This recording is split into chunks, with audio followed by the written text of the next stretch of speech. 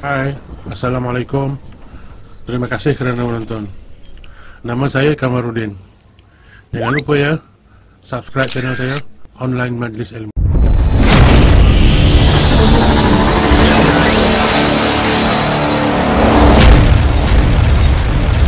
Terima kasih kepada saudara pengacara majlis Tuan-tuan dan puan-puan mudah-mudahan dirahmati, diberkati oleh Allah Subhanahu wa taala.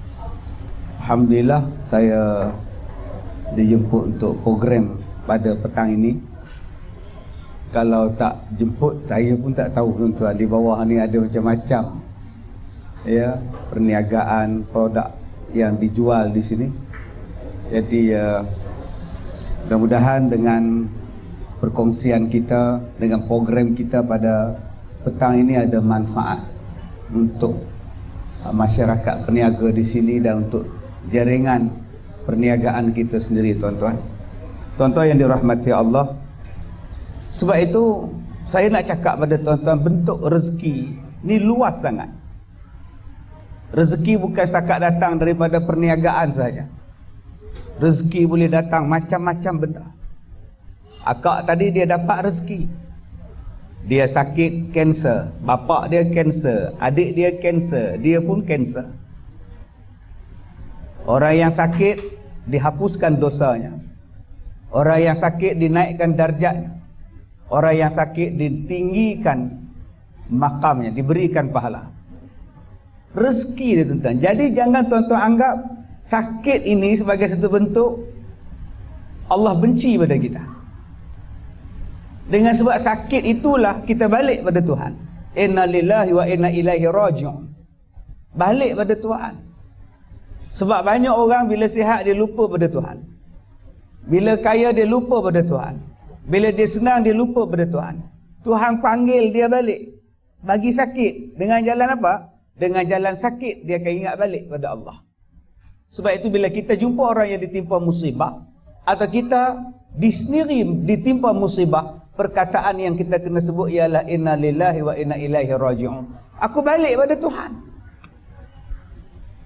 Sebab tu ayat itu bukan untuk orang mati saja. Jatuh kerusi itu pun inna lillahi. Tak mati pun duduk je. Kerusi plastik, duduk pula atas tais. Kerusi pula jenis murah tuan-tuan.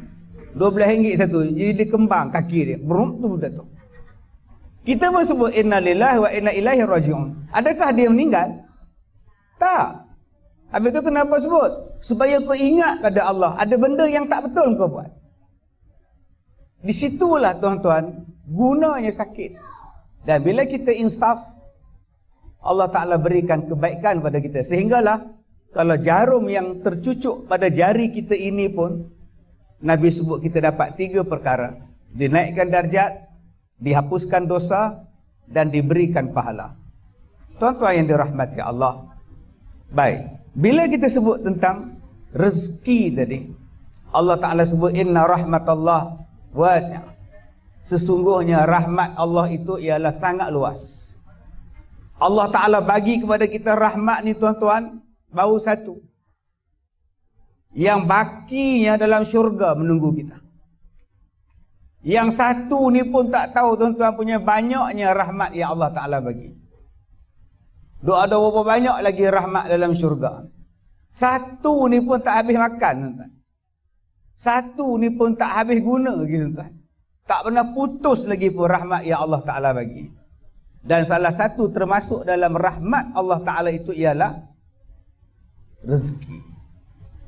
Rahmat Allah sangat luas. Hujan itu rahmat daripada Allah. Buah-buahan itu rahmat daripada Allah. Duduk di dalam sebuah negeri yang baik, rahmat daripada Allah.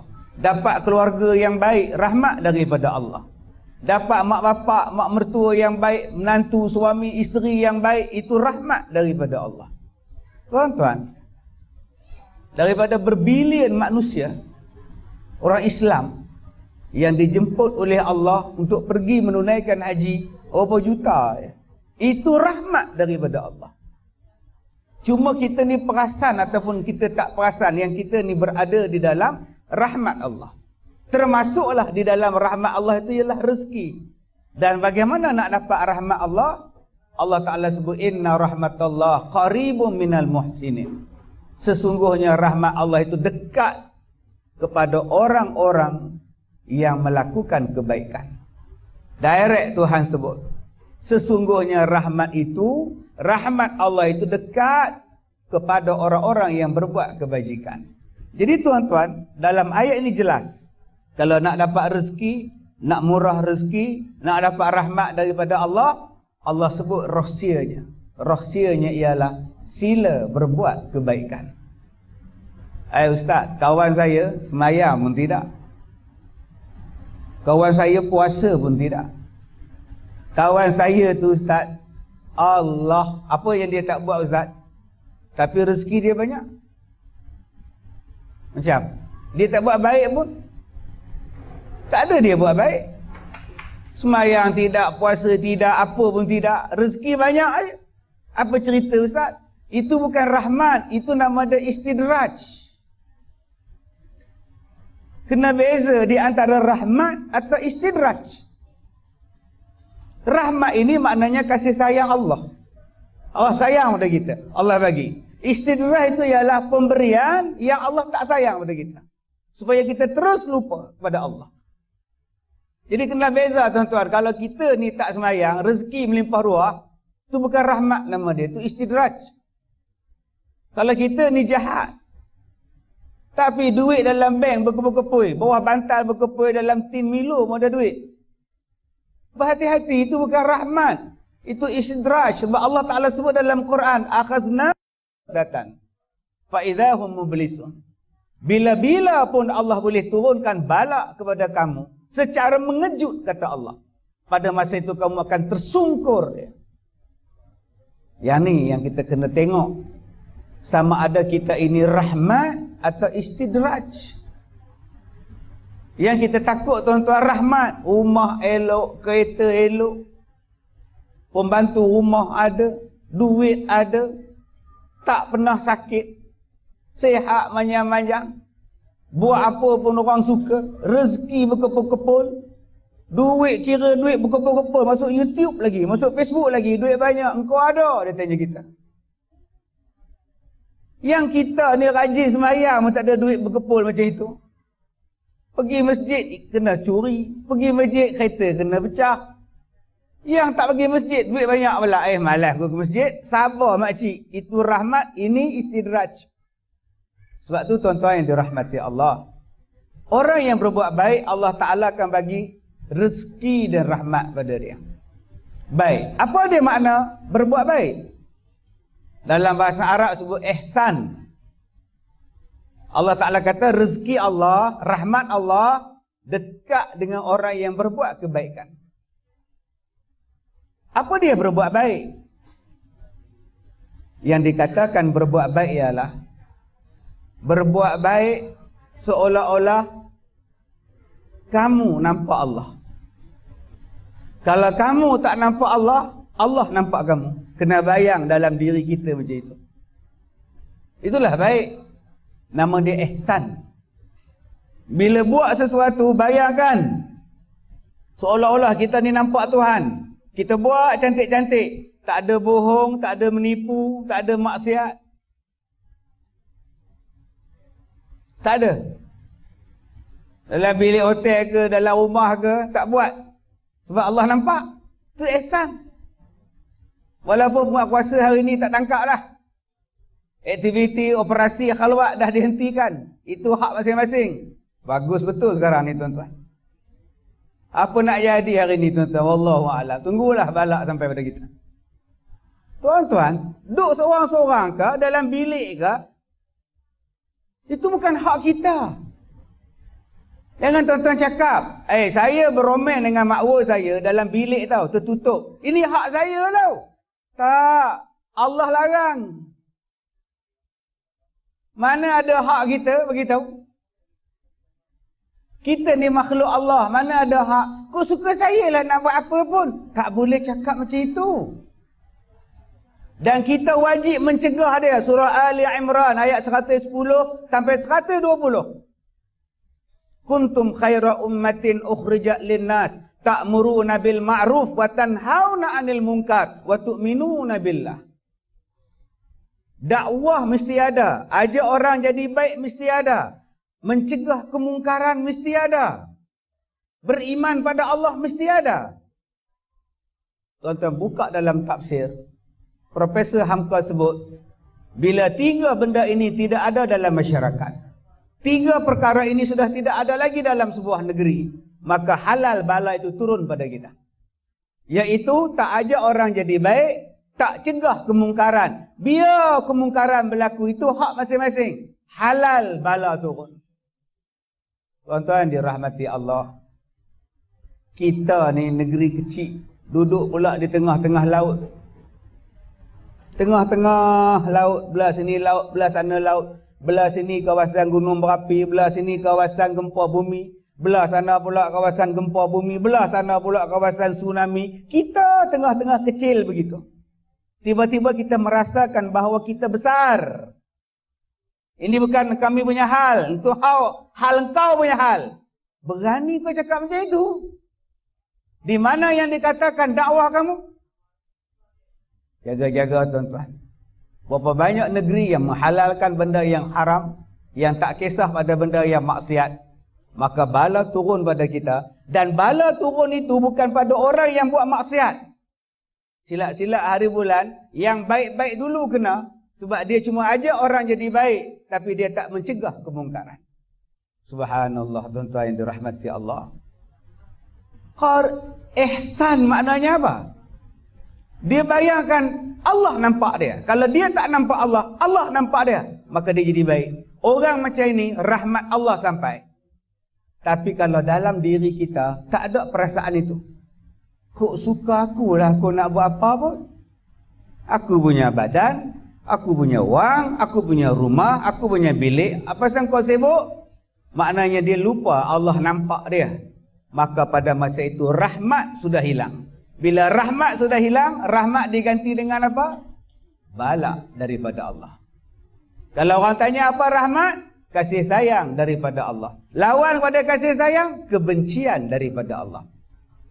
Dalam dunia ni tuan-tuan dia ada dua. Dia tak ada tiga.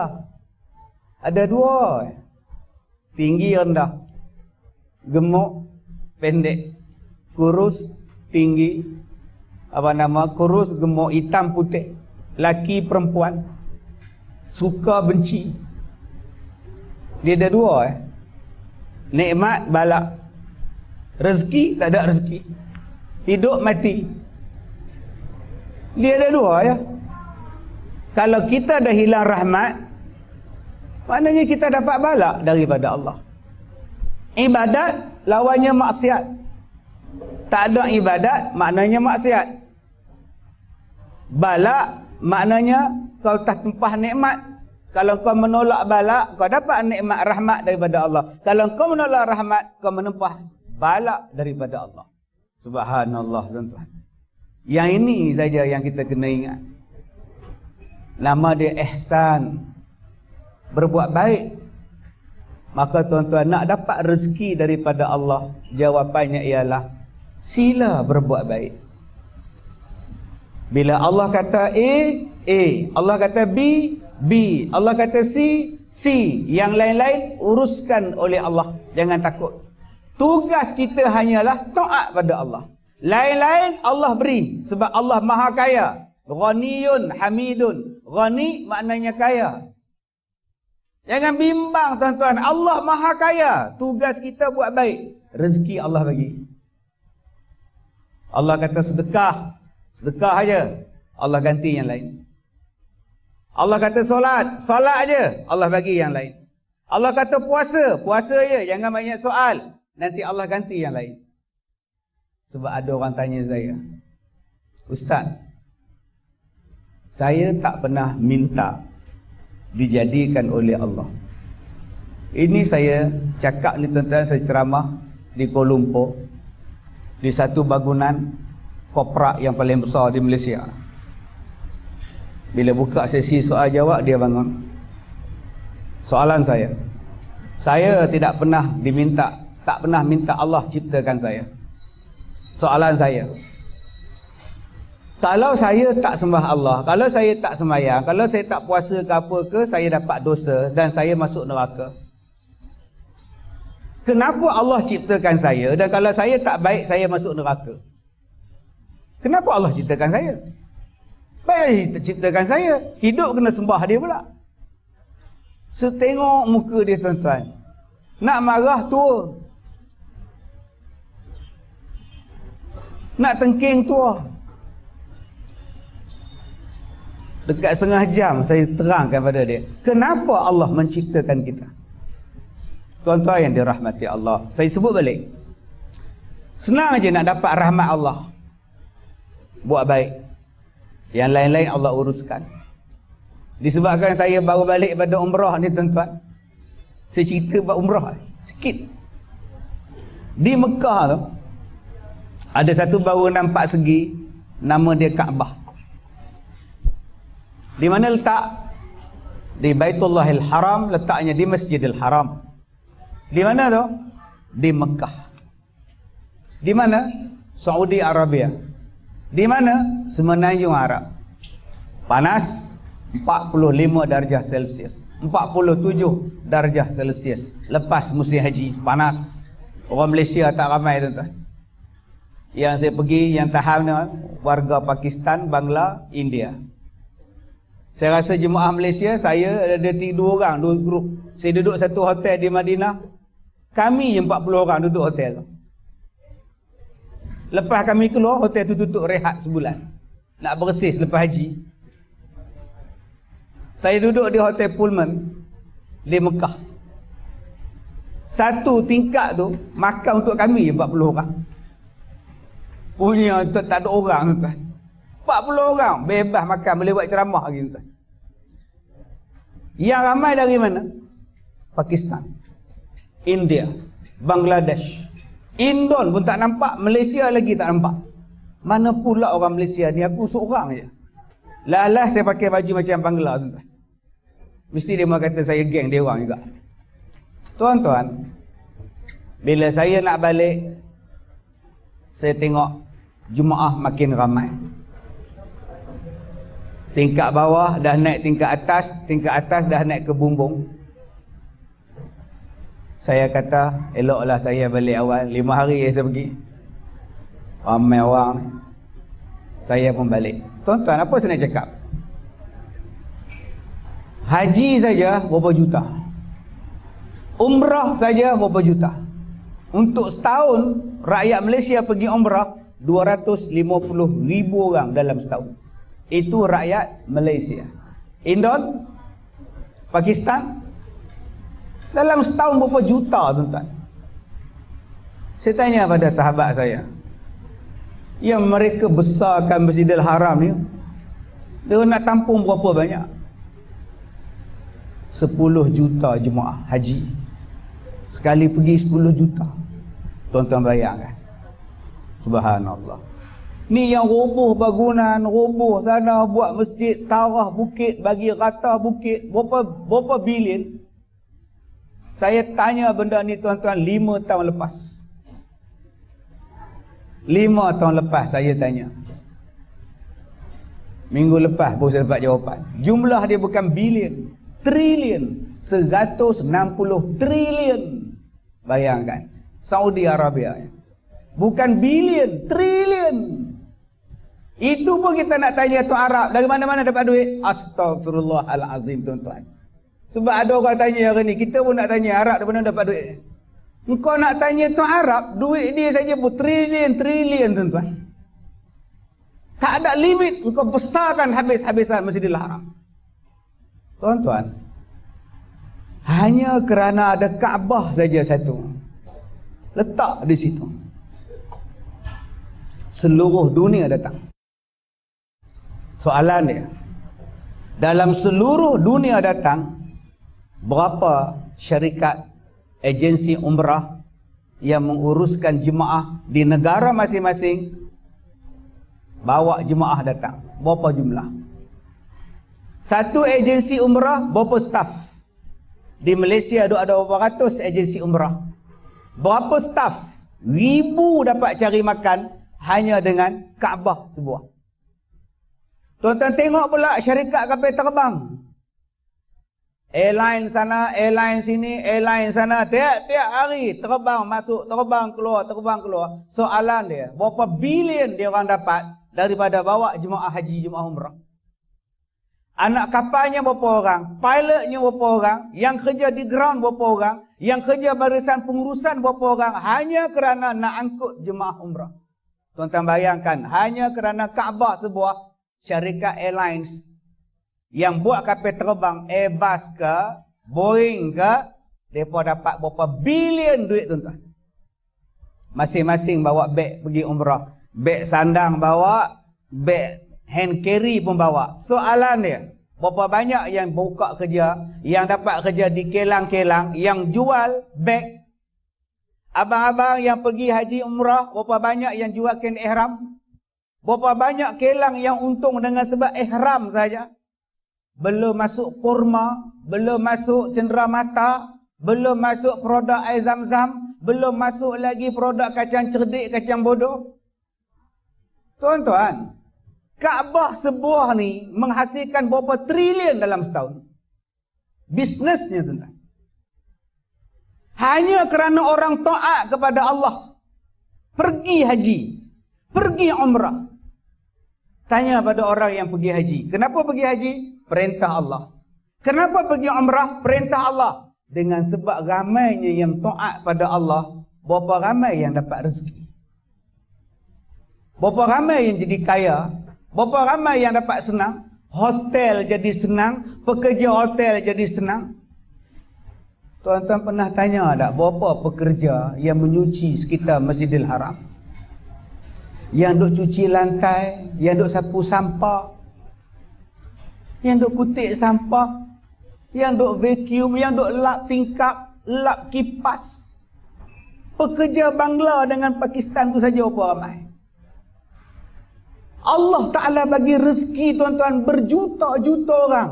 Hanya dengan sebab sebuah Kaabah. Habis itu apa yang tuan-tuan takut bila tuan-tuan nak taat pada Allah? Rezeki yang lain-lain Allah bagi.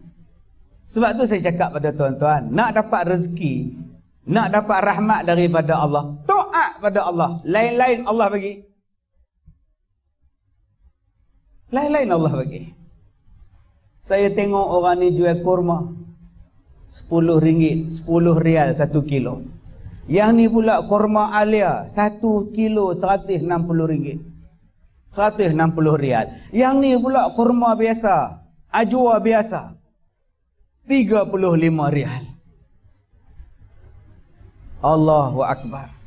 Tengok tali pinggang umrah yang ni 30 rial, yang ni 15 rial. Tengok orang yang duk isi air zam-zam tu. Saya beratur tengok orang duk isi air zam-zam dalam botol.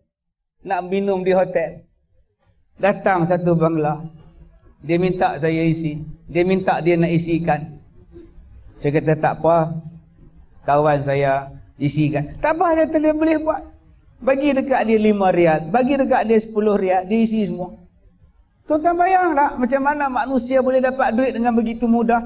Hanya kerana adanya manusia yang taat kepada Allah. Subhanallah, Masya Allah. Sebab itu tuan-tuan, kalau kita fikir bahawa Allah maha kaya dan dia nak bagi rezeki kepada kita daripada pelbagai jenis sudut, kenapa kita mengadu kita susah? Kenapa kita mengadu kita miskin? Kenapa kita mengadu kita ni susah dapat rezeki? Kenapa kita kata hidup kita sempit? Kenapa kita kata Allah Pak saya Pak, Pak saya Pak? Jawapan dia mudah, ma'isyatan dongka. Kamu ada buat maksiat. Kamu ada benda yang tak elok kamu buat. Akhirnya Allah sempitkan hidup kamu. Tuan-tuan yang dirahmati Allah. Jadi nombor satu, bagaimana nak dapat rahmat daripada Allah? Sila berbuat baik. Ihsan. Yang kedua, ihsan tu apa dia? Berbuat baik. Allah Taala sebut dalam Quran wa ahsin kama ahsanallahu ilaik. Dan berbuat baiklah kamu seperti mana Allah berbuat baik pada kamu. Subhanallah. Allah ni punya baiklah tuan-tuan. Saya duk tengok ni, Syuaib ni. Duk meniaga madu. Toki madu. Tuan-tuan yang dirahmati Allah. Rahmat yang Allah Ta'ala buat, Allah Ta'ala bagi rezeki pada binatang sekalipun. Tuan-tuan, ini bukan saya promosi tak, saya bukan duta dia pun tuan. Ni. Ni kotak. Ni nama dia kotak. Bersegi-segi kotak ni. Kotak ni diambil idea daripada mana? Daripada sarang labah-labah. Daripada sarang apa nama lebah, minta maaf. Cuba tuan-tuan tengok macam mana lebah tu buat sarang, betul sukatan dia. Di mana dia belajar matematik?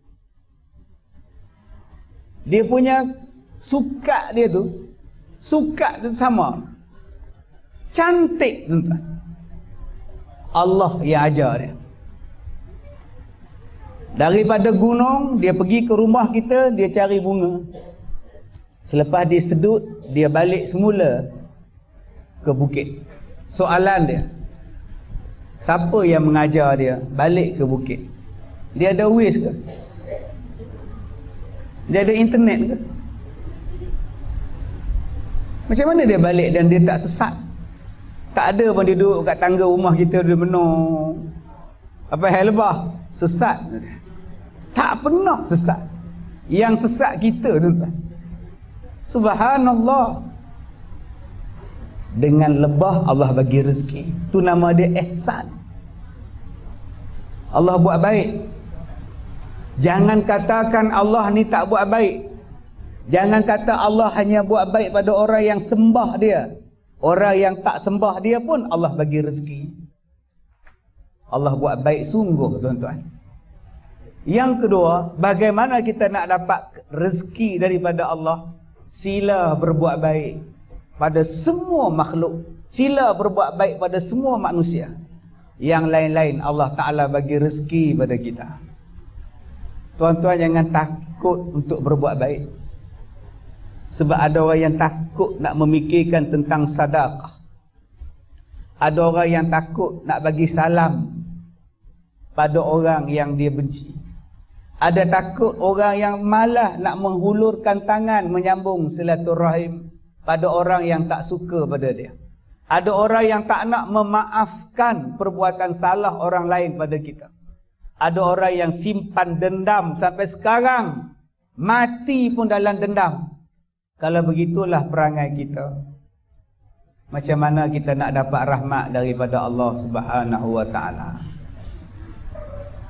kita mengadu saya bisnes ustaz kenapa tak tahulah ustaz saya pun pening lah ustaz saya buka kedai orang lalu je ustaz orang tak singgah pun saya pergi tengok dekat Bomo Bomo kata ada orang buat kedai bagi tak nampak itu yang orang tak masuk kedai saya ustaz ada pula yang mengadu ustaz saya berniaga tapi bangun pagi-pagi nak pergi nak ke kedai ke ustaz, malah ustaz. Rasa nak tidur je ustaz. Saya dia kena sihir ke ustaz? Orang Melayu kita tak habis-habis dengan sihir. Memang sihir tu wujud. Tapi bukan semua benda dengan sihir. Kadang-kadang kita sendiri yang tak ada semangat. Engkau meniaga, engkau tidur pukul 3 pagi, engkau nak bangun pukul 5 pagi, memang kau tak boleh bangun. Yang kau pergi tengok bola pukul 2 pagi buat apa? Sekarang ada orang jogging malam-malam. Malam-malam jogging, pukul 11 malam jogging. Balik rumah letih, ha, ha, tidur, subuh terlepas. Kemudian mengadu, Ya Allah, kenapa rezeki aku kurang? Engkau tak sembahyang subuh. Macam mana nak dapat rezeki kau tak berbuat baik pada Allah? Ada orang yang boleh angkat besi bertantan sehari. Duduk dalam gym. Tok tangan angkat, tok di kaki angkat. Tapi malas cari duit. Badan cantik, duit tak ada nak buat apa.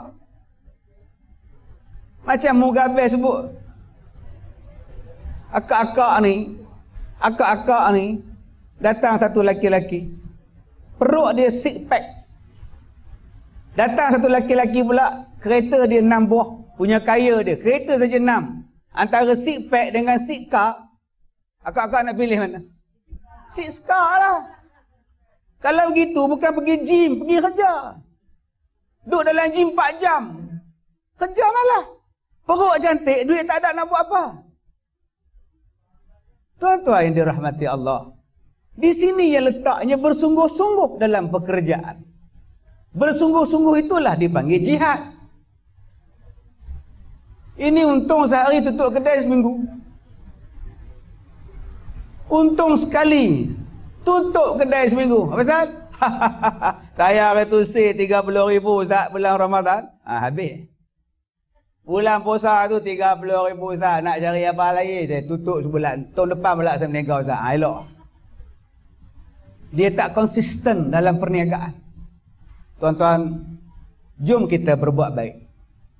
Berbuat baik macam mana Allah berbuat baik? Allah bagi rezeki, Allah sayang pada orang, Allah kasih pada orang. Yang ni yang kena ada dalam bisnes. Ni ada orang produk. Satu, dua, tiga, buhlah lapan produk. Ada orang berniaga, yang ni dia ambil untung, yang ni dia ambil untung, yang ni dia ambil untung, yang ni dia ambil untung, yang ni dia ambil untung, yang ni dia ambil untung, yang ni dia ambil untung.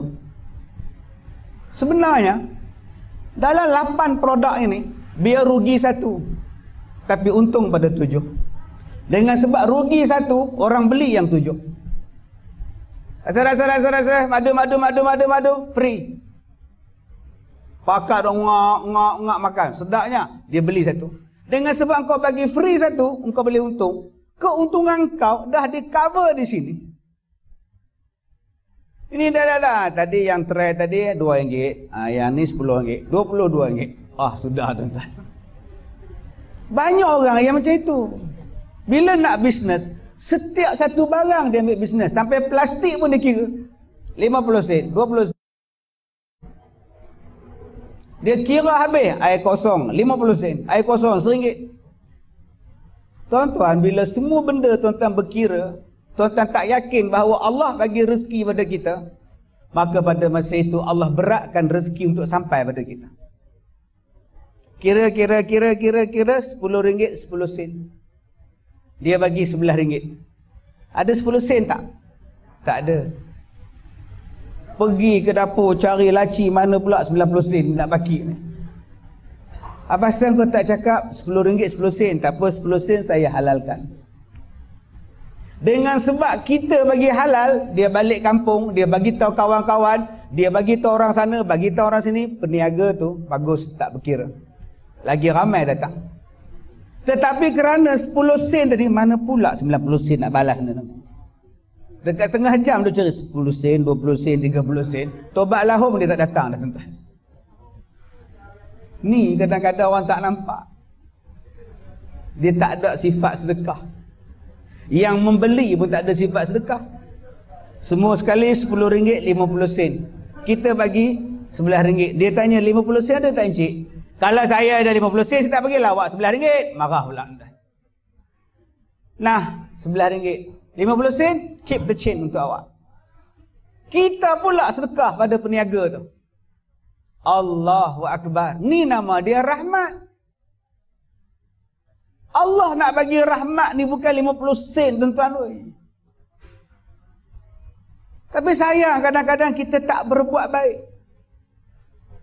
Kita tak berbuat baik dengan manusia. Bila kita tak buat baik dengan manusia, Allah takkan berbuat baik dengan kita. Jangan kita sombong dengan orang, jangan kita belagak dengan orang, jangan jangan jangan jangan. Allah benci innallaha la yuhibbu man kana mukhtalan fakhura. Allah tak suka dengan orang yang sombong dan belagak. Berbangga-bangga. Jangan tuan-tuan. Jangan bila orang tanya, "Kenapa kamu taja rancangan ni?" "Sebab saya punya duit." Gini tuan-tuan. Hai, boleh tak volume tu rendah sikit? Rendahkan sikit. Allah Ta'ala boleh tarik nikmat dalam sekelip mata. Saya penyanyi. Suara saya sedap. Boleh tak rendahkan sikit sombong tu? Allah boleh hilangkan suara kau sekelip mata. Main-main. Saya pemain bola yang hebat. Allah boleh bagi kau saraf sekelip mata je. Sekarang kau bertongkat sekarang. Sekelip mata Tuhan boleh bagi. Saya ni penceramah. Siang malam berceramah. Sekelip mata Tuhan boleh tarik nikmat. Jatuh bilik air, sekarang gila. Nyanyuk dah sekarang ni. Ada orang panggil ustaz lagi dah. Taklah, orang panggil gila sekarang ni. Oh, kita bangga kita ni cantik. Jangan sombong. Silap pakai produk. Sebelah putih, sebelah hitam. Macam? Oh kita bangga anak-anak kita pandai. Semua UPSR bagus. PT3 bagus. SPM bagus. Sekelip mata Tuhan ambil. Accident. Empat-empat meninggal. Kita tak boleh nak sombong dengan Tuhan. Sebab kita bukannya hak. Ada hak untuk sombong. Yang ada hak pada kita yang kita kena buat ialah berbuat baik. Berbuat baik sesama manusia. Ada orang faham berbuat baik sama manusia ni sedekah kat dia sikit, tak. Nu masak. Nu duk sediakan makanan. Saya pergi beli minta pembantu saya beli makanan. Bungkus lauk nasi saya nak makan. Saya tengok ikan goreng dia. Digoreng dengan taik-taik sekali Seekor tu dah masuk sekali tuan-tuan. Apa cerita ni? Saya makan satu tempat. Dia goreng sekali saya tak perasan. Ikan bakar semua ni. Saya tengok dengan tek-tek ada sekali. Saya panggil tokek dia. Abang. Memang restoran ni goreng dengan tek-tek ikan sekali? Abang tahu dah ikan ni besar.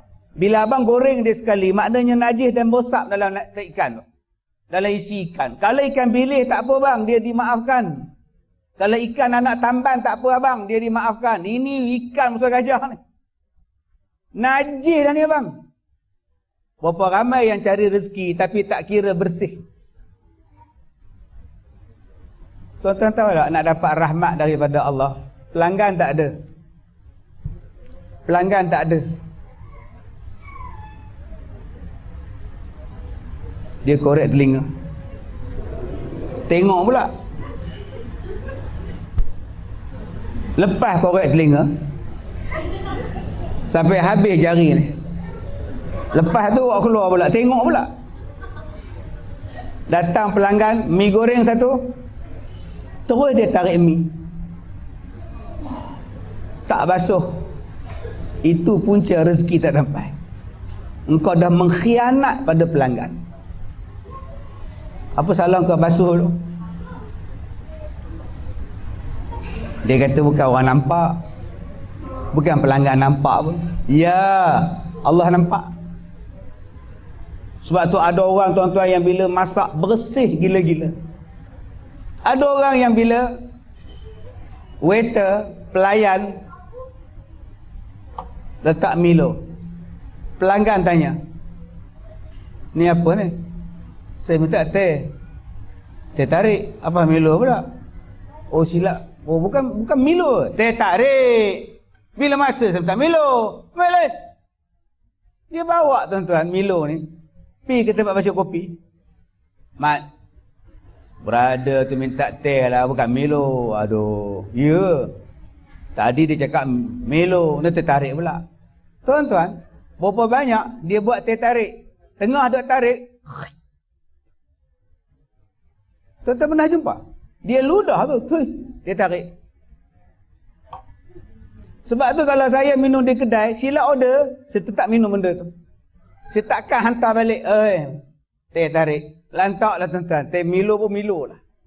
Banyak kes dia ludah. Tuh, dia ludah. Lasah lengkau. Makan ludah aku. Bodoh 44 hari kata dia. Memang kau cakap bahawa kau benci pada pelanggan yang mengada-ngada. Tapi kau lupa. Bila kau buat macam itu, Allah tarik rezeki kau. Kemudian kita mengadu. Kenapa rezeki saya kurang? Kenapa saya tak jadi bisnes? Kenapa, kenapa, kenapa? Jawapan dia mudah. Engkau sendiri tahu apa salah engkau. Tuan-tuan yang dirahmati Allah. Yang ketiga. Tadi surah lebah Ni lebah. di dalam Al-Quran ada surah Al-Ankabut. Orang Melayu dia sebut kelam kabut. Kelam kabut ni tuan-tuan dia ambil pada bahasa Arab. Kal ankabut kal ni maknanya seperti. Al ankabut laba-laba orang Arab sebut kal ankabut orang Arab kalau dia tengok kita ni jenis kelam kabut dia panggil kita apa? Kal ankabut macam laba-laba orang Melayu ni dia melayukan benda tu. Kelam kabut kata ni Tuan-tuan, di dalam Al-Quran ada satu surah. Namanya surah Al-Ankabut. Surah labah-labah. Allah Taala sebut sebuah kisah, sebuah surah nama dia Al-Ankabut yang cuma dua kali disebut Al-Ankabut dalam surah itu tapi Allah bubuh nama surah Al-Ankabut. Allahu Akbar. Subhanallah. Di dalam Al-Quran ada surah namanya Al-Baqarah. Surah lembu. Orang kita rajin baca Quran. Orang kita rajin menghafaz Al-Quran. Tapi dia malas bela lembu. Sedangkan dalam Quran, lembu nombor dua surah. Selepas Al-Fatihah. Surah lembu, surah paling panjang sekali dalam Quran hampir tiga juzuk surah lembu je. Orang kita cuma nampak lebah. Ada surah lebah dalam Quran. Tapi dia tak nampak surah lembu dalam Quran.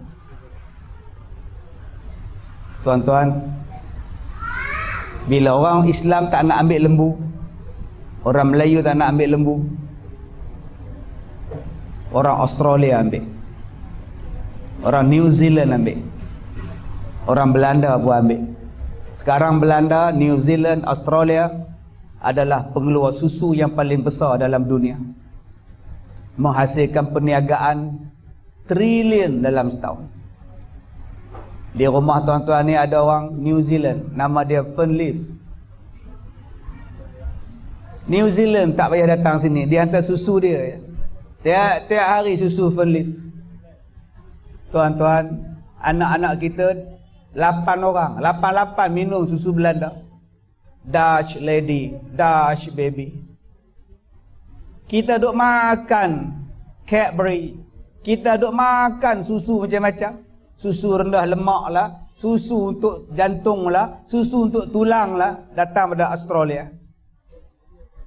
Orang Melayu masih lagi dengan fahaman. Bodoh macam lembu. Bodoh macam lembu. Bodoh macam lembu. Akhirnya lembu kita tak belah. Sayang tuan-tuan. Quran turun pada kita dulu. Kita yang paling banyak hafal Quran. Tapi sampai sekarang kita tak nak betul-betul ambil Quran. Cuba tuan-tuan tengok binatang yang tak turun harga ialah lembu. Ayam turun harga. Tuan-tuan pergi Yerusalem Nomad 80 sen je. Lembu ada 80 sen. Dulu 1500 ekor, sekarang 4900 ekor. Mana ada turun harga lembu? Motor turun harga. Anak-anak kita minat motosikal. Hari ni beli, besok jual, turun. Bulan lepas jual balik, lagi turun. Tahun depan, lagi turun. Lembu mana ada? Motor suka jaga, lembu tak nak jaga.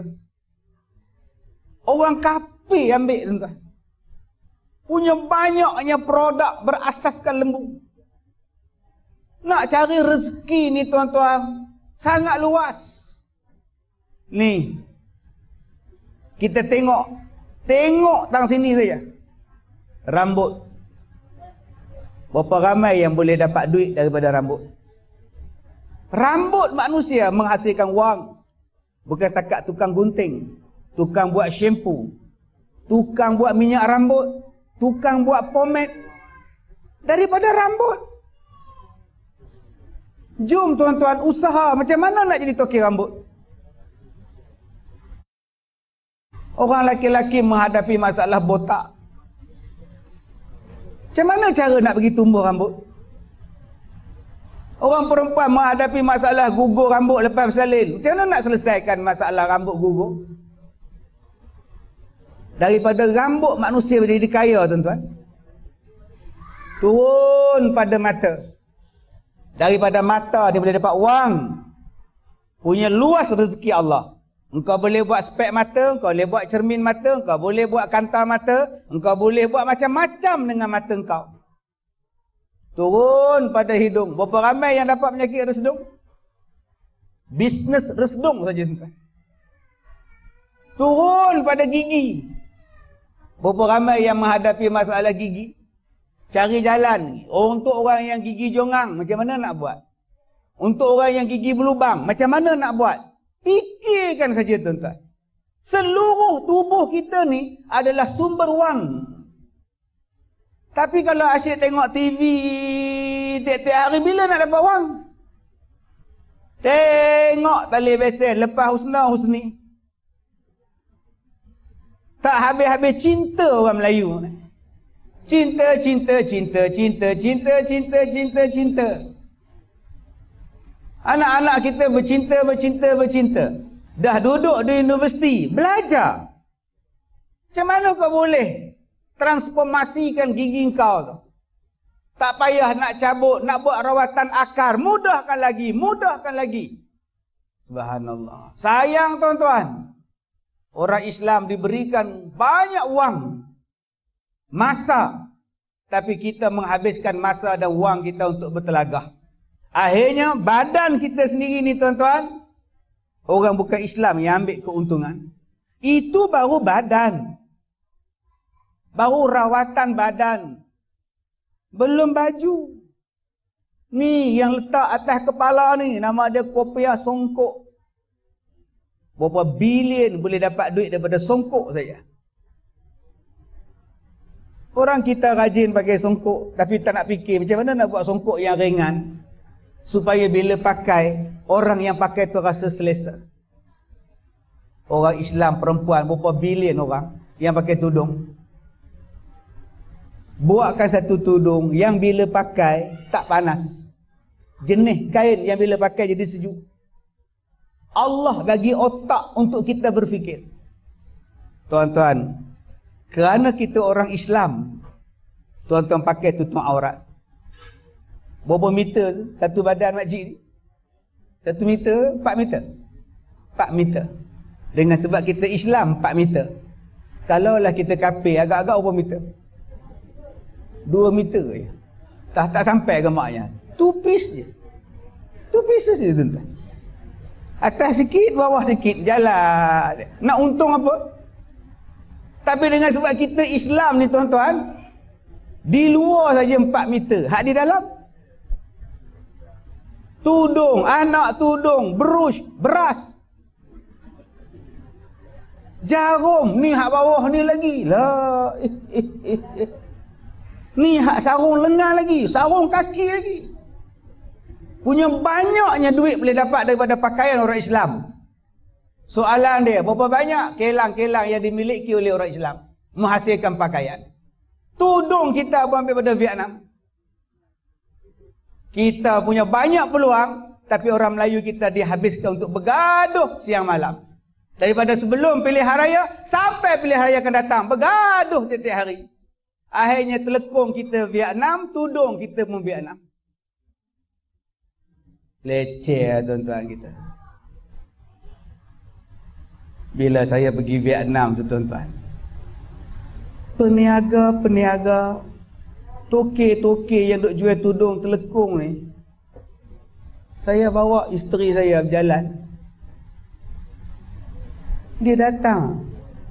Ayo Ustaz Kazim. Orang Vietnam peniaga pun kenal saya tu. Betul kau. Can take picture. Foto lah review. Boleh. Begini saya buat piece. Sebab dia nak letak gambar saya dekat kedai dia, dekat kelang dia, dekat premis dia. Ustaz Kazim pun datang kedai aku. Ni punya bisnes. Subhanallah. Saya pergi duduk di Pullman tuan-tuan. Hotel Pullman. Saya sebut Pullman. Di Mekah. Elok saya masuk lepas semayang tu nak masuk dalam lobi hotel. Jaga dia tahan. Jaga dua orang tahan. Saya tanya apa pasal? Bos nak jumpa. Siapa? GM kata dia. General Manager. Tiga orang. Dua Arab, satu Indon. Gambar gini. Saya masukkan gambar tu dalam Facebook saya. Seorang tinggi, seorang tinggi. Saya yang rendah tuan-tuan. Bayangkan General Manager besar punya hotel Pullman tu turun. Pasal dia tahu Ustaz Kazim duduk di situ. Saya nak cerita apa pada tuan-tuan? Saya nak cerita bahawa pandai mengambil peluang. Dengan sebab dia masuk dalam Facebook, dengan sebab dia gambar tu, dia akan tahu berapa ramai follower Ustaz Kazim. Ustaz Kazim duduk sini. Promosi percuma untuk dia. Ni kadang-kadang tuan-tuan, peniaga-peniaga ni kadang-kadang dia tak pandai mengambil kesempatan.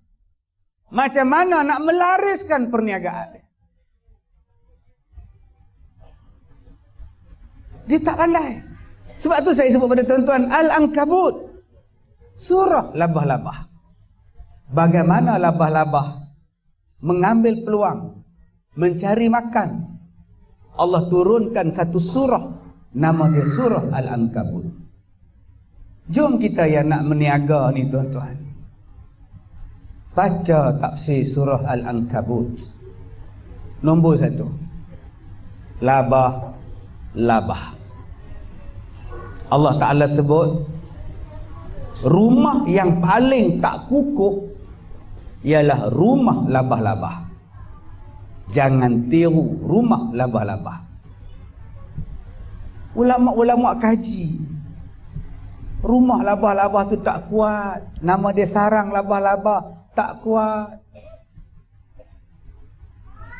Kalau tak kuat, kenapa dia buat? Maksud rumah labah-labah itu ialah rumahku syurgaku. Selalu pepatah tu kita sebut. Baiti jannati. Rumahku syurgaku.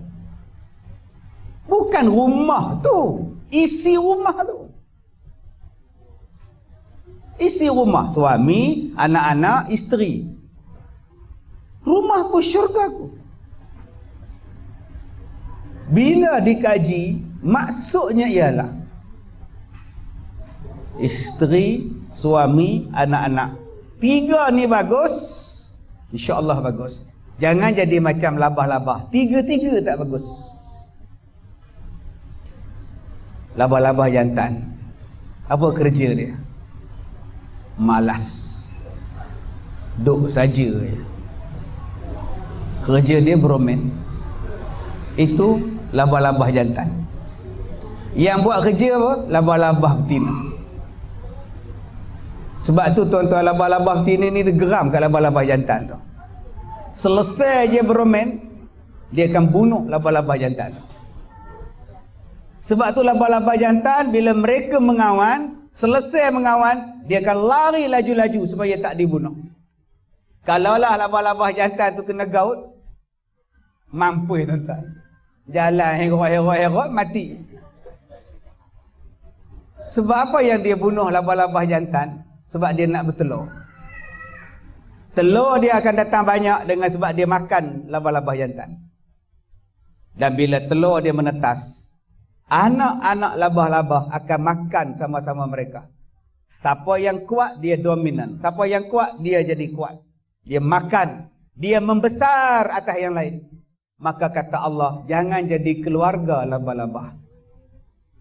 Suami jadi pemalas, isteri yang duk tanggung, lala isteri balon suami dia. Jangan jadi macam anak labah-labah duk berebut harta tak habis-habis, tak peduli mak bapak. Jangan jadi labah-labah jantan, tak peduli keluarga. Jangan jadi labah-labah tina pula, hang buat kerja semua, lala hang teruk.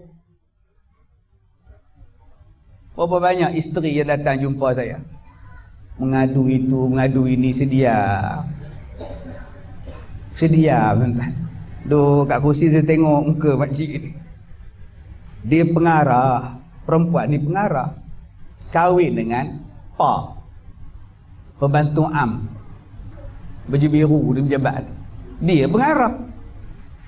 Bila kahwin, balik kampung, adik beradik semua duk perli. Seronok le laki kau Basuh kaki je masuk rumah kau tu dia. Gaji murah, kahwin dengan pengarah. Lah lah balik ke rumah dah tak tahan 2 3 tahun, abang sambung belajar abang. Dia sambung belajar. Saya jaga anak. Saya jaga rumah tangga. Abang sambung belajar. Saya tanggung abang. Duduk di universiti, anak tak jaga, nasi tak beli, lauk tak cari, elektrik tak bayar, kereta tak bayar, dia mengorak perempuan lain di universiti. Kahwin senyap-senyap. Perempuan tadi isteri dia datang jumpa saya. Ustaz cuba tengok anak-anak saya. Ustaz kesian tak? Kesian juga apa pasal? Bapak dia ustaz sampai hati. Sampai hati apa? Kahwin lain. Saya yang tanggung dia saya yang bawa anak-anak sampai belajar macam ini. Anak-anak saya dia tak peduli lah sekarang. Saya kata kau gatal suruh dia pergi belajar tu buat apa? Kau gatal nak tanggung pasal apa? Dia yang kena tanggung akak. Kalau saya akak, saya tak suruh dia sama belajar akak. Eh. Biar dia jadi pa pergi pencin. Janji dia setia dengan akak, dia jaga anak. Ni akak nak jaga standard akak. Status akak. Sekarang dapat lah. Orang laki-laki ni akak, bila tak ada tanggungjawab, dia rasa free. Bila dia free, dia bebas nak buat. Patutnya kalau akak nak, biar dia susah. Hantar anak ke sekolah, ambil anak pada sekolah, ambil akak, basuh kain semua. Dia tak sempat menikah lain kak. Sekarang akak datang jumpa saya mengadu suami akak kahwin lain. Saya jawab apa? Itu yang akak pilih. Jangan bagi lepas dia tanggungjawab. Dia tanggungjawab dia. Masalah dia gaji kecil. Allah bagi rezeki kot lain kak. Usaha. Bukan melepaskan diri daripada tanggungjawab. Dia suami, dia bapa. Akak suruh dia duduk di Kuala Lumpur, akak duduk di sini pula. Elok lah. Tak ada pula isteri di rumah. Jumpa pula sebulan sekali. Ah, saya seminggu sekali. Lepas tu sebulan sekali. Lama-lama tak jumpa. Dia jumpa yang lain kak. Oi. Terimalah hakikat bermadu. Terima kasih Ustaz. Balik. Apa terima kasih lagi dah? Terima hakikat. Jadi akak-akak Tanggungjawab serah pada suami. Akak-akak tanggungjawab akak. Abang-abang jangan jadi macam labah-labah. Mati kena gaut tadi. Yang kedua. Labah-labah mencari makanan. Subhanallah. Aduh, tuan-tuan. Labah-labah buat sarang daripada apa? Air liur air liur dia buat sarang daripada titik tengah dia. Dia bawa dia bawa dia bawa dia bawa dia bawa dia bawa dia bawa. Pam! Siap satu sarang. Dia sambung sana sambung sana sambung sini sambung sana sambung sini. Tuan-tuan menyambung nyambung nyambung nyambung ni supaya dapat satu jaringan nama dia networking. Nak jadi bisnes berjaya dalam bisnes network kena ada.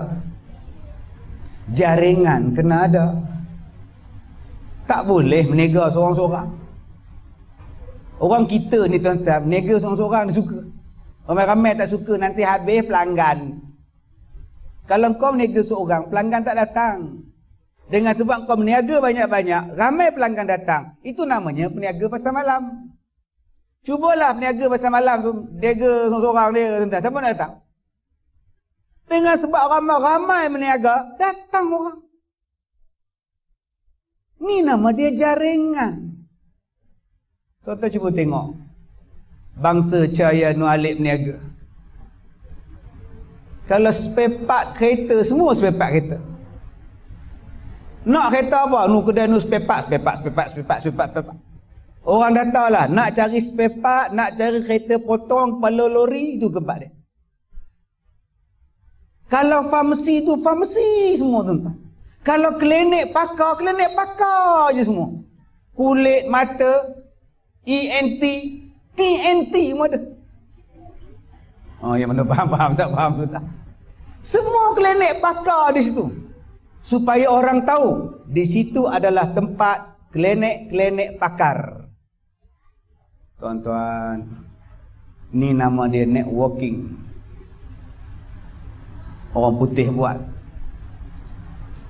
Dulu-dulu orang putih buat makro. Dapat kad. Uh, orang Melayu dapat kad makro bangga. Boleh masuk dua orang satu kad. Tak ada kad kata dia. Satu kad RM20. Tang situ saja dia boleh jadi jutawan. Orang Melayu pula kalau dekat tu bangga kata makro kata dia. Ni tahun 90-an dulu yang mana ingat. Kalau siapa dekat tu bangga je, bos dapat di pejabat. Pengurus dapat di pejabat, anak buah tak dapat gaji murah. Gini tengok kad makro. Dia boleh dapat modal membina kelang dia, membina pasar dia dengan kad tu saja RM20. Oh duyun orang minta RM20. Orang tak kedekut. Sebab manusia tambah-tambah Melayu ni suka kalau ada kad. Tak percaya tengok dalam dompet. Penuh kad. Pandainya bisnes mereka.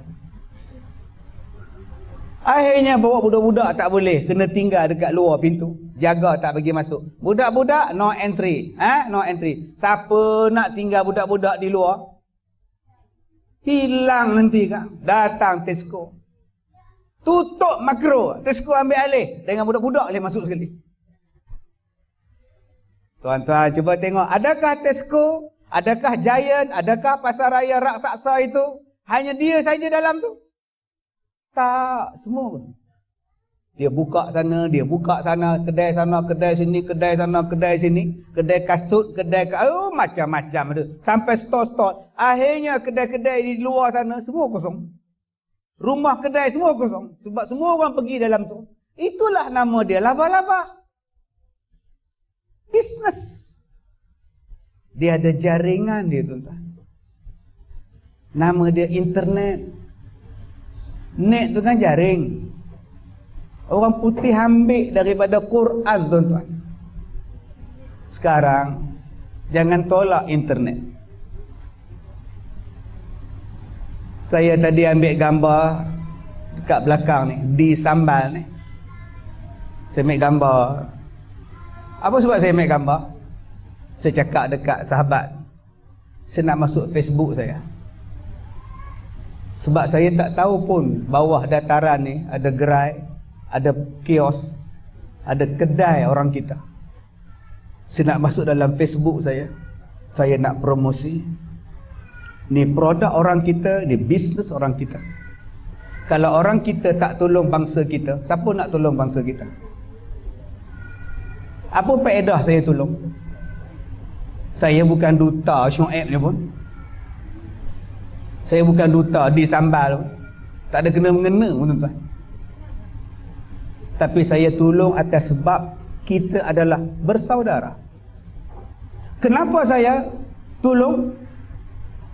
Sebab saya ada Facebook. Follower saja 1.3 juta orang. 1.3 juta saya ada rangkaian tuan-tuan. Saya ada rangkaian televisyen, saya ada rangkaian radio, saya ada rangkaian YouTube, saya ada rakan-rakan dalam Facebook, saya ada rangkaian dalam Instagram saya. Satu dunia rangkaian saya. Saya masukkan nanti, belum tak tahu dah masuk ke belum, admin saya. Masukkan di bawah dataran merdeka ini ada macam-macam produk orang kita. Tuan-tuan, inilah dia teknologi maklumat. Inilah nama dia jihad.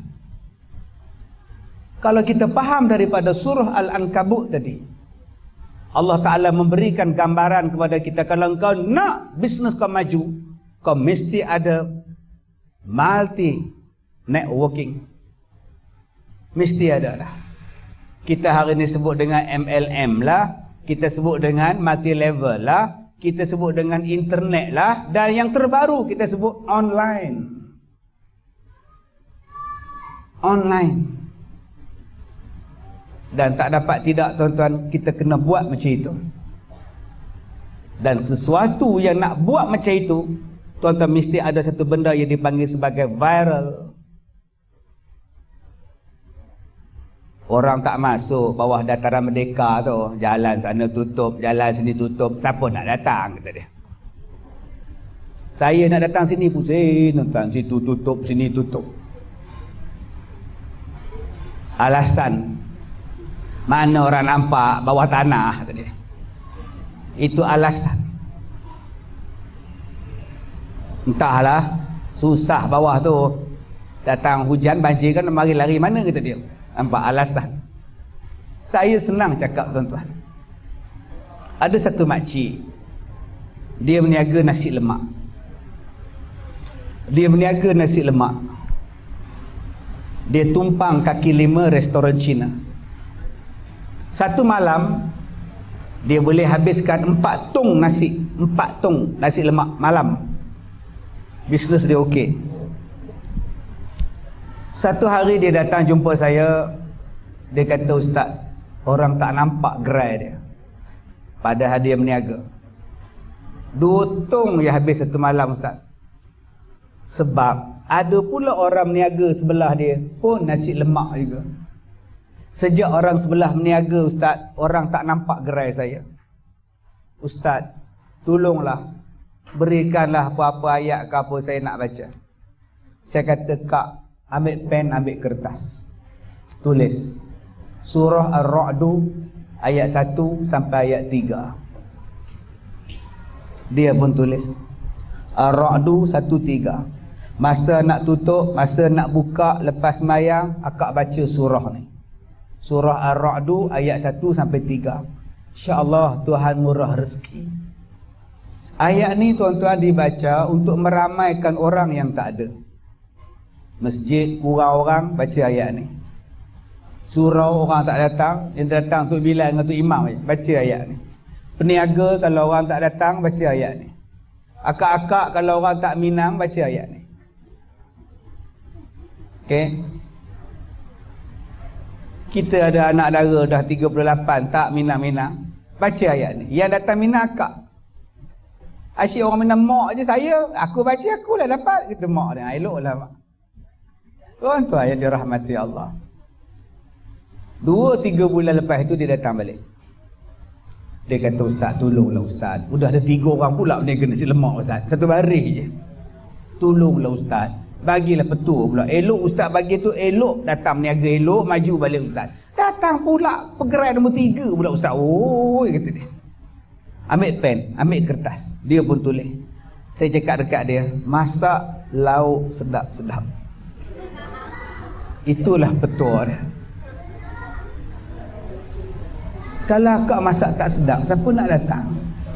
Itulah viral dia tu viral dia. Dan nak viral ni tuan-tuan terpulang pada kreativiti tuan-tuan sendiri. Saya pergi ke Pulau Pinang nasi putih percuma. Lauk ah, makan bayar. Nasi free. Begini orang susun tuan-tuan pergi jalan berdiri. Jadi akak-akak kalau nak pergi gerai ni bawa lauk siap-siap. Ambil nasi je free La ilaha illallah Ni kreatif. Ni apa ni? Ni buluh. Masak nasi dalam buluh. Keluar TV3.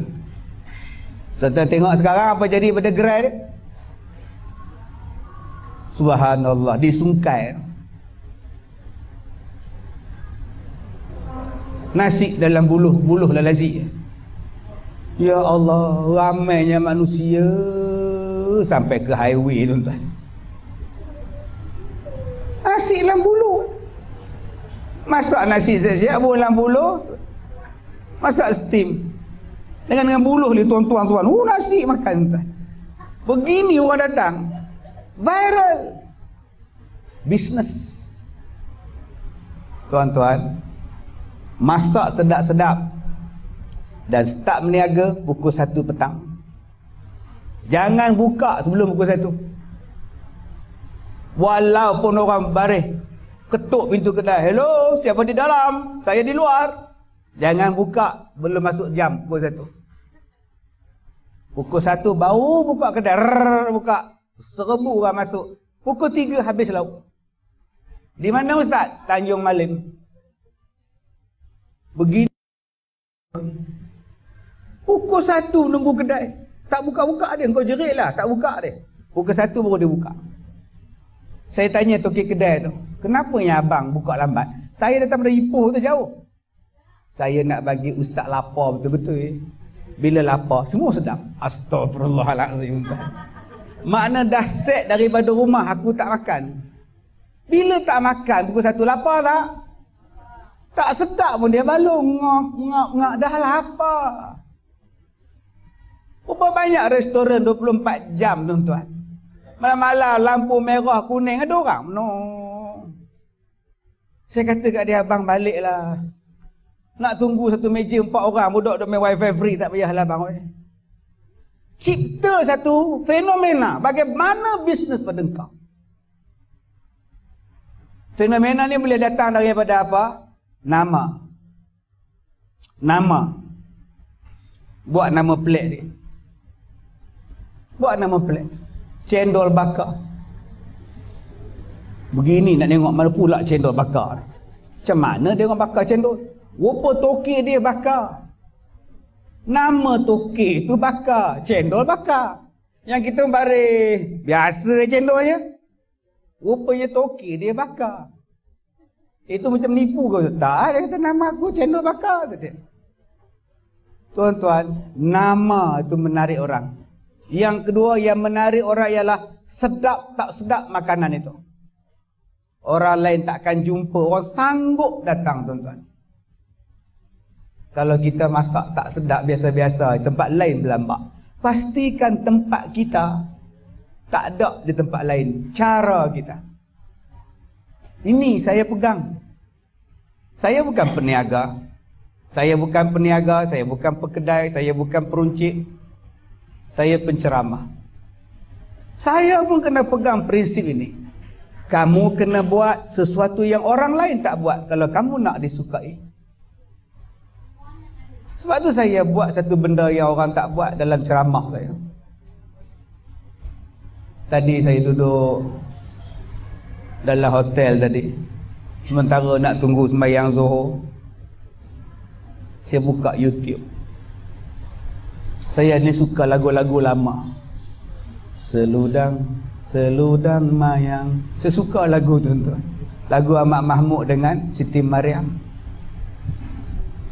Okey, suka lagu tu. Boleh saya tekan pula lagu Ahmad Mahmud dengan Rafi'ah Buang Kesetiaan Kasih Sri Andalas Aduhai adinda Dengarlah madah kekanda Tercurahlah cinta Ahai nyawa padamu juga Saya tengok komen di bawah tu Ustaz Kazim bawa saya ke sini Ustaz Kazim punya pasal lah ni Ini lagu Duke, ini lagu Ustaz Kazim Pasal Ustaz Kazim lah aku landing kat sini Semua saya belakang tuan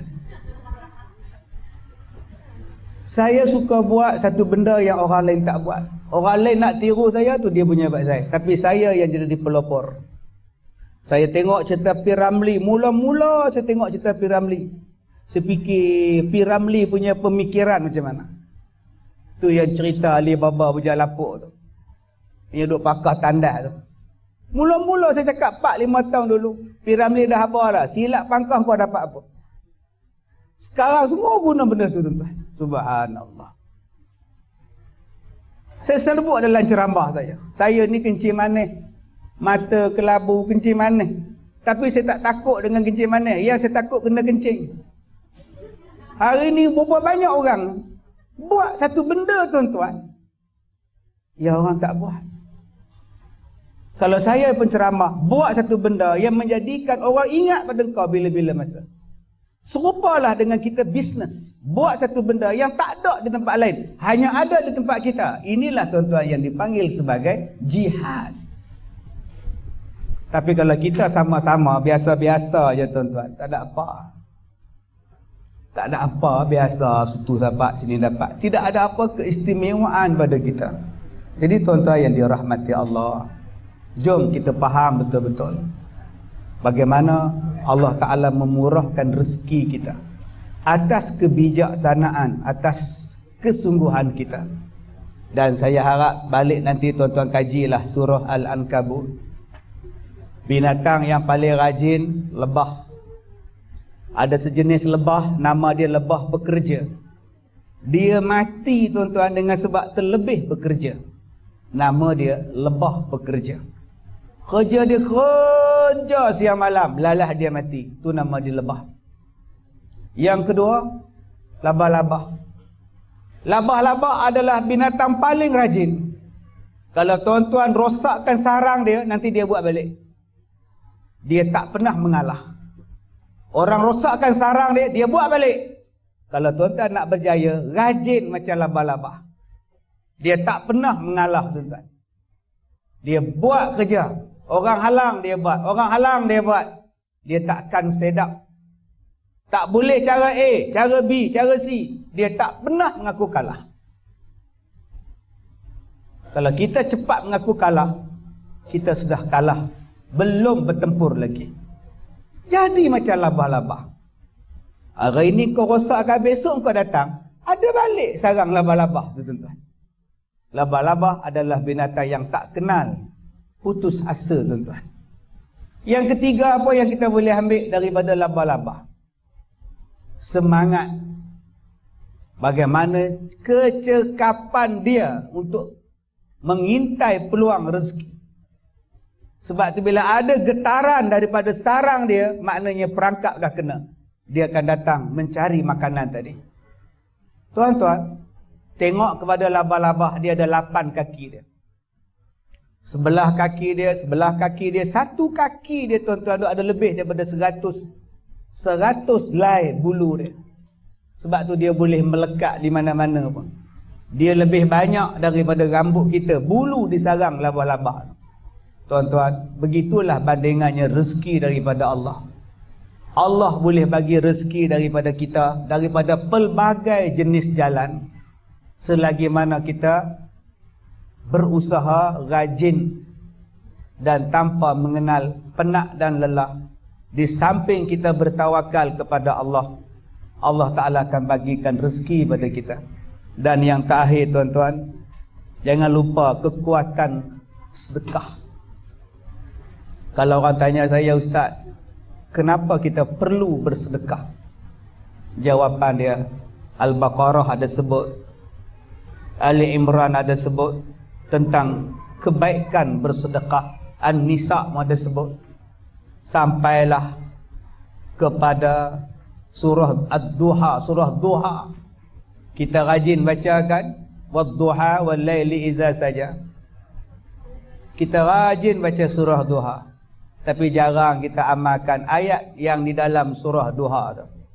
Fa ammal yatima fala taqhar wa ammas sa'ila fala tanhar wa amma bi ni'mati rabbika fahaddith Allah Taala sebut tiga benda ni dalam surah duha.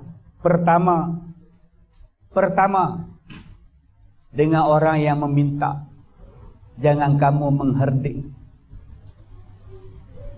pada anak-anak yatim ni tuan-tuan jangan kamu marah pada mereka. Tengking mereka benci mereka jangan. Dengan orang yang meminta jangan kamu herdik mereka. Dan nikmat yang Allah Taala bagi pada kamu hendaklah kamu sebut. Tiga benda yang Allah Taala sebut Allah Taala berikan rezeki pada kita. Pertama orang yang meminta. Kedua anak yatim Ketiga nikmat yang sudah ada pada kita Allah kata Allah Taala kata sebut Sebab tu saya nak ajak pada tuan-tuan jangan benci pada orang yang nak minta. Sat-sat minta, sat-sat minta. Tambah kita berniaga ni. Minta macam-macam. Jangan benci, ada duit bagi, tak ada duit sudah. Jangan dilempar surat ni, derma lagi. Saya tuan-tuan jadi ustaz. Biasa jadi ustaz, penceramah. Tapi sejak saya dapat datuk ni tuan-tuan, datuk pula dua pula dapat datuk. Dua negeri bagi, satu persekutuan bagi, satu perak bagi. Lepas-lepas dapat ni tuan-tuan, lagi banyak surat minta derma. Yang anak nak belajar, yang dia nak belajar, budak universiti, nak pergi hantar bantuan dekat Syria minta 80 ribu saya baca surat tu kami memerlukan RM80,000 untuk menghantar bantuan ke Syria. Yang pertama tiket kapal terbang, yang kedua bantal, jumlah bantal, tilam, selimut semua jumlah RM80,000. Dalam hati saya kata dah tak ada duit nak hantar pasal apa, biar aku hantar sendiri. Dia nak pergi hantar tu pakai duit saya, minta duit saya, tambang dia orang saya bayar. Saya kata biar aku bagi direct kat depa RM80,000 sampai je bagi hangpa tak ada duit hangpa pergi apa? Saya kata macam ni lah bang. Hangpa tuluh dalam Malaysia, banyak dalam Malaysia susah. Jangan marah dia orang. Bagi cadangan tu dia orang. Jangan marah tuan-tuan. Datang macam-macam. Ayah anda Ustaz Kazim. Ya. RM50. Apa nak buat? Beli berah. Berah tak ada. Begitulah hidup saya setiap hari tuan-tuan. Adakah saya susah? Adakah saya miskin? Tak. Allah bagi rezeki kot lain. Begitulah tuan-tuan jadi koprat, tuan-tuan jadi peniaga. Akan ada surat, akan ada orang minta, anak yatim lah, apalah, semua pakai miskin lah, rumah kebajikan lah, yayasan lah, apalah. Ada duit, bagi. Tak ada duit, duduk senyap-senyap. Jangan kutuk, jangan kata apa pun. Kalau ada, bagi. Ada peruntukan, bagi. Allah kata apa? La in syakartum la azidannakum. Kami tambah lagi. Don't worry. Kami tambah. Dan kata Allah pada anak yatim jangan kamu tengking, jangan kamu abaikan. Dah meninggal dah sahabat saya ni. Bila saya nampak ayam kampung ni. Allah tuan-tuan saya ni ayam kampung ni nombor satu. Suka tuan-tuan ni. Kawan saya ada restoran tiga ayam kampung ni. Meninggal dah. Baru meninggal. Satu isteri, satu restoran. Dia ada tiga. Tiga-tiga isteri dia belah. Abang buat apa? Saya mantau je. Begini dia duduk tuan Isteri nombor satu restoran tu. Nombor dua yang ni. Nombor tiga yang ni. Untung banyak isteri tuan Restoran dia besar. Saya pergi restoran, dia minta saya baca doa. Semalam berapa abang, abang bisnes? Tak banyak ustaz. Alhamdulillah lah boleh lah satu malam dalam 14, 15 ribu. Oi kuat lah tu saya kata. Larak dengan sebulan. Dah berapa ribu bang. Tiga restoran bang. Hei, mau sejuta sebulan. Niaga je. Kalau satu restoran satu malam 14 ribu paling rendah. Itu paling rendah. 10 hari dah 140 hari. 30 hari dah 420 hari. 420 ribu kata. Satu restoran, tiga restoran tak juta. Alhamdulillah Ustaz. Ninggal dah tuan-tuan. Tuan-tuan tahu, dulu dia bisnes berapa ringgit? Dia kata ustaz Saya sebenarnya tiap-tiap hari Saya suruh pekerja saya masak Hantar dekat anak-anak yatim Asrama, tahfiz. Setiap hari ustaz Sejak itu Tuhan bagi macam ini. Tak pernah putus rezeki saya ustaz.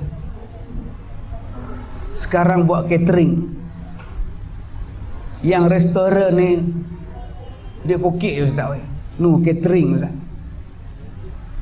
Dapat catering, nu catering sana sana, caterer sana apa semua, yang tu yang dia boleh buat. Alhamdulillah.